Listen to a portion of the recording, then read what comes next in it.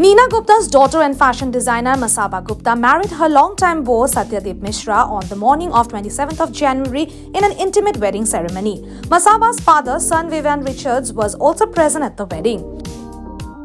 After making a surprise announcement about her wedding, Masaba most recently dropped some more pictures from the wedding ceremony. She shared a family picture featuring her father, former West Indies cricketer Sir Vivian Richards, mother Neena Gupta and stepfather Vivek Mehra in one frame. Sharing this picture, Masaba penned a beautiful caption that read, For the first time ever, my whole life came together. This is us, my beautiful blended family. Everything from here on is just a bonus.